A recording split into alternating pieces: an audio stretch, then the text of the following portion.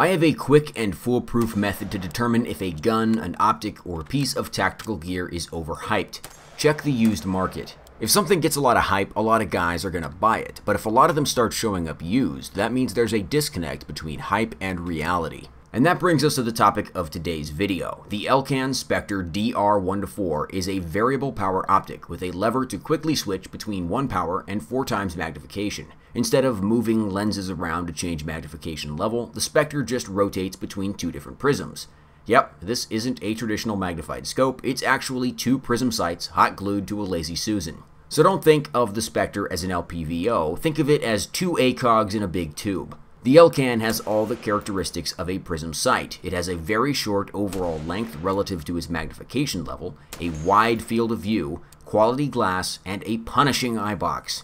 Looking through the Spectre, I can simultaneously understand why it gets the hype that it does, and also why nobody likes it enough to keep one. The 1x setting on the Elcan is a true 1x magnification. The image has less distortion than any LPVO I've ever looked through. The view through the Elcan at 1x is perfectly flat and seems to be completely unmagnified, not 1.1x or 0.9x like a lot of LPVOs. This means you can shoot with it kind of like a red dot with both eyes open, particularly if you use the illumination, which is literally aimpoint bright. Not like a joke or a lazy comparison, it's actually bright as fuck. The super flat true 1x mode means you don't get any kind of double vision effect like with an LPVO or a Trijicon MRO.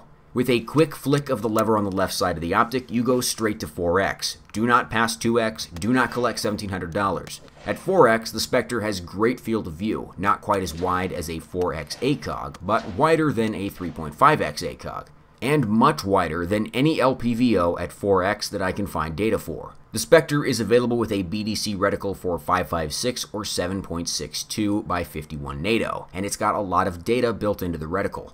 It has a built-in drop compensation for the appropriate caliber, a rangefinder that I do not know how to use, and area fire indicators for use with a machine gun. The Spectre also has a second illumination mode that lights up the whole BDC reticle instead of just the center dot. Use the red dot mode for close range 1x use, and use the fully illuminated reticle for low light shots at 4x.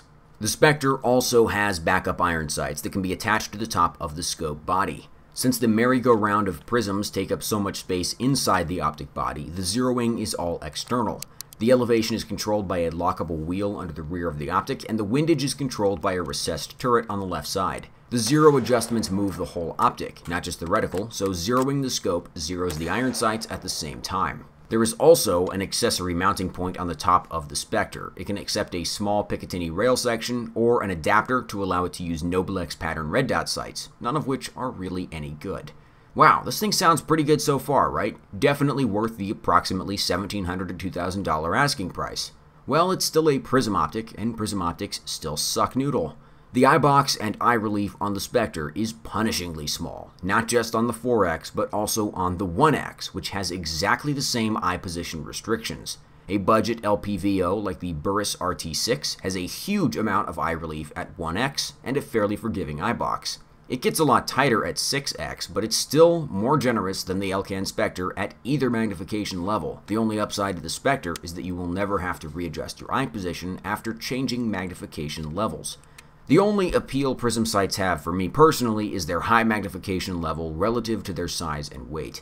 A 4X ACOG weighs about 15 ounces with a mount. The new Vortex Spitfire Gen 2 5X weighs about 10 ounces.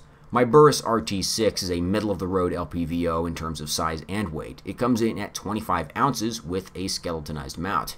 The Spectre is about 23 ounces, so it's significantly heavier than a standalone magnified prism, but not bad compared to an LPVO.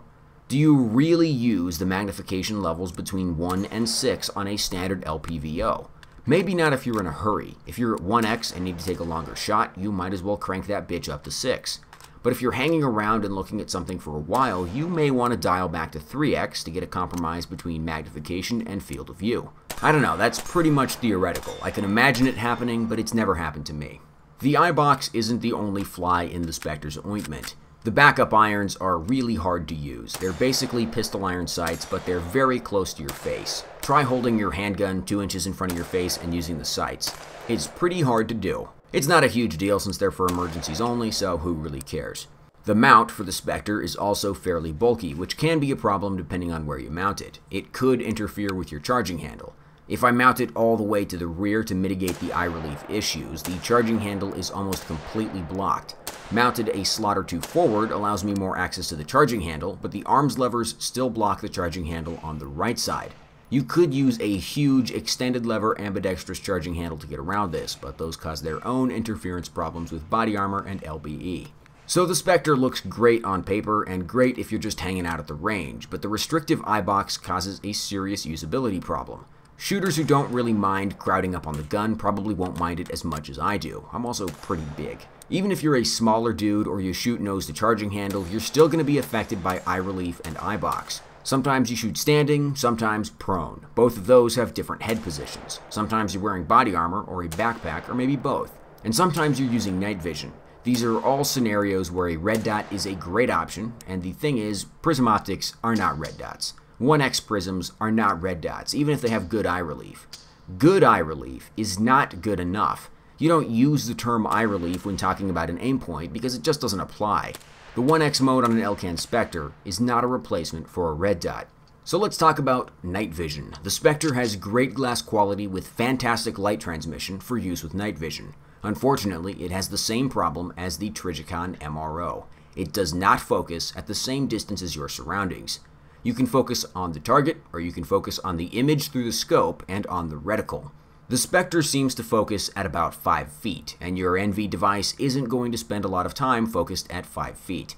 If you have a dual tube NV system, you can focus the tube over your dominant eye to the scope and keep your other tube focused to your target. At least that way you'd only be half blind. If you used an LPVO with night vision, you would run into the same problem. But LPVOs are scopes, and scopes have adjustable diopter. Spin the diopter adjustment out a few turns until you no longer need to change focus on the NV device, and you're up and running. Keep it like that until the sun comes up. This is something you can do with a magnified prism scope like the Vortex Spitfire Gen 2, but you cannot do it with any of the models of the Trijicon ACOG as far as I know, and you can't do it with the Elcan Spectre.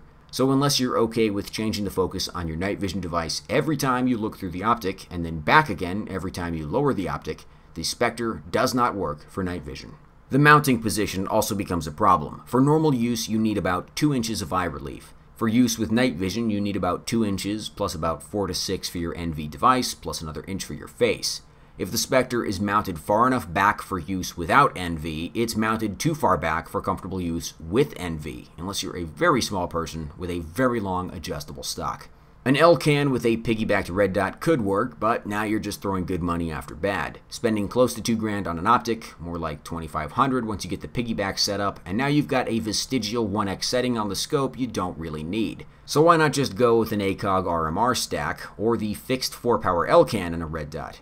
Then it's basically just a Canadian ACOG. The Spectre DR1-4 with a red dot is way heavier than an ACOG with an RMR on it. A Trijicon TA11 with an RMR will probably run you about as much as a Spectre, and it will work better in almost all respects, and it will weigh a lot less. And that's why there are so many used Spectres for sale on TaxSwap and ARFCOM and eBay. The Spectre has a lot of little annoying problems, and for $2,000 it can't afford to be less than perfect. For that price it needs to be like manna from heaven. The EOTech EXPS3 and the Aimpoint T2 are both fairly expensive sights, and they're both great, but I see a ton of EXPS3s for sale on the secondary market and almost no T2s. I think the reason for that is pretty obvious. The EXPS3 gets a lot of hype. It's distinctive looking, it's in all the video games, and it has the allure of futuristic hologram technology. The actual sight itself is also great. Phenomenal performance under night vision, extremely low parallax, and a fast reticle that looks great under a magnifier. It's awesome. But there are downsides that you don't appreciate until you actually get your hands on it. EOTechs are big, they're heavy, the reticle is fuzzier than it looks in pictures and video games, the battery life isn't great, and you can't leave it on all the time, not even if you want to. And on the other end of the spectrum, the Aimpoint T2. There's nothing exciting about the T2, so it doesn't get hyped up. And if you buy one, there's no glaring faults that will make you want to sell it.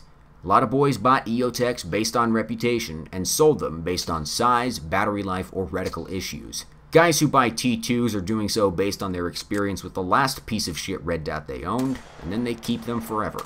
The Elcan Spectre is a really good scope. It's got a lot of kick-ass features and qualities, but it's also the wrong scope for everybody. Seriously, there's not a single person out there who is best served by an Elcan Spectre DR1-4, except maybe an M240 Bravo gunner, but that guy is at the mercy of military logistics and doesn't get to make his own choices.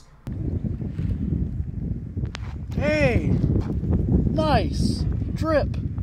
I just like it, bros. By the way, you guys can find me on Subscribestar if you would like to support this channel. Thanks for watching. See you next time.